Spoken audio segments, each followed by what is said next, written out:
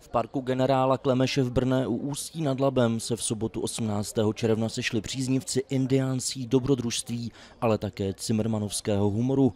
Konal se zde totiž již tradiční indiánský den Karla Máje, který připomíná doloženou historickou skutečnost, že slavný spisovatel Brnou kdysi skutečně navštívil.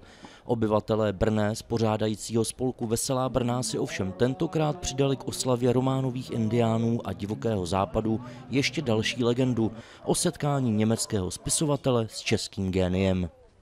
Dneska eh, to bylo zvláštní eh, oproti jiným dnům, jiným ročníkům, protože my jsme pátrali po půdách tady v Brně a v domě, kde v 60. letech 18. Eh, století žili rodiče Babinského, tak jsme vypátrali doklad o tom, že se před 125 lety tady setkal Karel, Mar, Karel May s Jarou Zimmermanem. Odhalovali jsme pomník tomuto setkání, který tady je kousek vedle nás, takže ten jsme odhalili a e, za zpěvu hymny Brné, kterou zpívali děti z zdejší základní školy.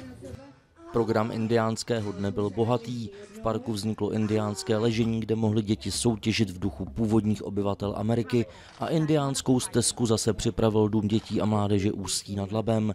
Děti ze základní školy v Brné zahrály divadelní pohádku o Sněhurce a všem přítomným zaspíval herec, moderátor a zpěvák Vladimír Hron který zároveň na indiánském dnu pravidelně znázorňuje náčelníka Apačů Vinetua a role Olče Trhenda se zase ujal místní rodák Svatopluk Žáček.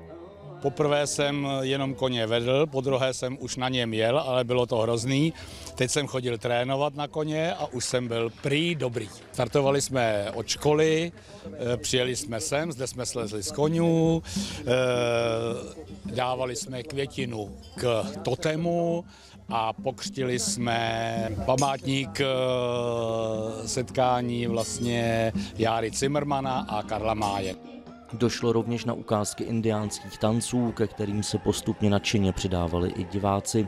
Cimrmanovské myšlenky zase propagoval běžecký závod z Kufry, kterého se zúčastnilo 12 lidí a přihlížejícími mohli být okamžitě označeni za hrdiny a dobrodruhy, neboť venku panovalo úmorné 35 stupňové vedro a náročný byl jakýkoliv pohyb i bez kufrů. Ano,